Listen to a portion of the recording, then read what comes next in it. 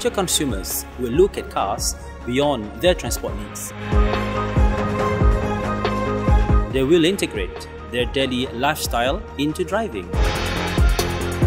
They will also have an increased level of safety expectations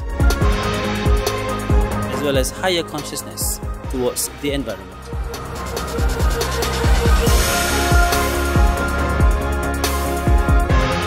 Before they entering the real world, this is where they will learn the best way how to be an engineer in automotive.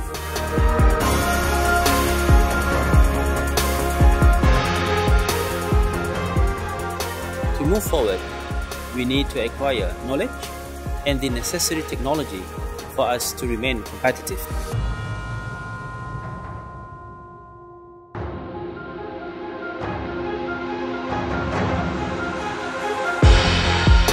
The Formula SAE requires students to present their projects and also including research, design, evaluation, testing, and finally manufacturing of the uh, prototype of the product.